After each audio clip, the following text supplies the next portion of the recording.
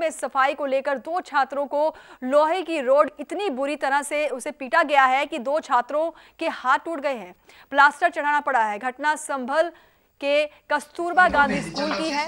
घटना के बाद छात्रों के परिजनों से जो है उन्होंने जमकर हंगामा किया है और डीएम से शिकायत के बाद बीएससी ने जाँच के आदेश दे दिए हैं। दरअसल स्कूल की महिला शिक्षक ने सातवीं, आठवीं के दो छात्रों को पूरी क्लास की सफ़ाई करने को कहा। लेकिन जब छात्रों ने सफ़ाई करने से मना कर दिया तो इससे नाराज़ होकर टीचर ने छात्रों को पीटना शुरू कर दिया। और अभिभावकों ने इस बात की शिकायत डीएम को दी है। डीएम ने बीएसए को फटकार लगाते हुए जाँच के निर्देश दिए। थी मैं मैं मैं जूते जूते धोने के अपने तो कहा मैं जूते धोने के मैम कह मैम को नहीं मेरे पे चक्कर मत लाओ मैं मैम के क्लास में जाके बैठ जाऊँ।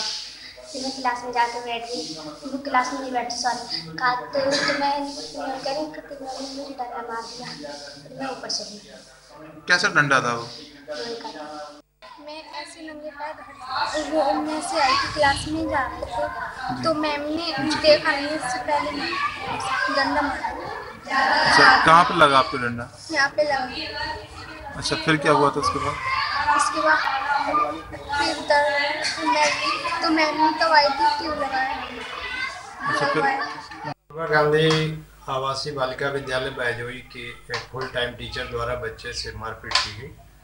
उसने इस तरह से बच्चे की पिटाई कर दी जिससे कि बच्चे के हाथ फ्रैक्चर हो गए जिसकी तत्काल इलाज कराया गया। जाँच कार्रवाई एसडीएम साहब, खंड शिक्षा अधिकारी की अध्यक्षता में जाँच चल रही है। जाँच रिपोर्ट आने पर अग्रतर कार्रवाई करा दी